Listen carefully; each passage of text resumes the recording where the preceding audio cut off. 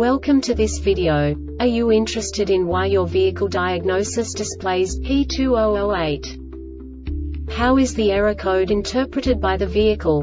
What does P2008 mean, or how to correct this fault?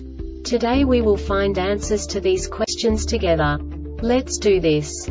First, let's look at the history of diagnostic fault code composition according to the OBD2 protocol, which is unified for all automakers since 2000. We divide the electric system of automobile into the four basic units. Powertrain, body, chassis, network. This distribution is defined in the first character code. If the second character is expressed as zero, it is a standardized error.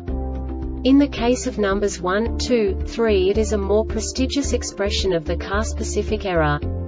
The third character specifies a subset of errors. The distribution shown is valid only for the standardized DTC code. Only the last two characters define the specific fault of the group. Let's not forget that such a division is valid only if the other character code is expressed by the number 0. Our website airbagreset.sk produces useful videos for you.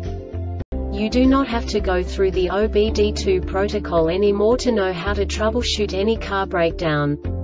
You will find all the diagnostic codes that can be diagnosed in a Cadillac vehicles. Also many other useful things. The following demonstration will help you look into the world of software for car control units. You unbelievably can move the video a bit further.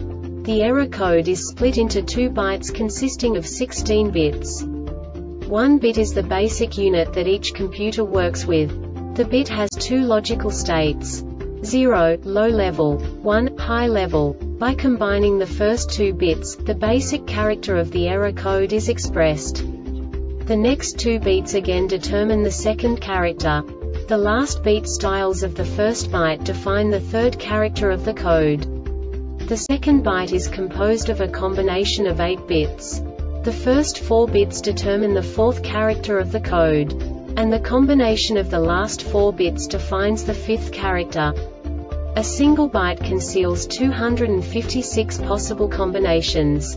We now know in what way the diagnostic tool translates the received information into a more comprehensible format. The number itself does not make sense to us if we cannot assign information about it to what it actually expresses.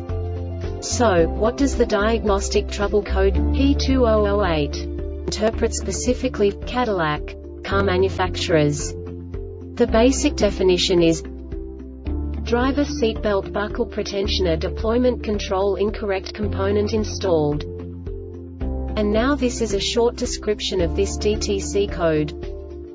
This DTC sets if the RCM detects the device but it is not configured for this component.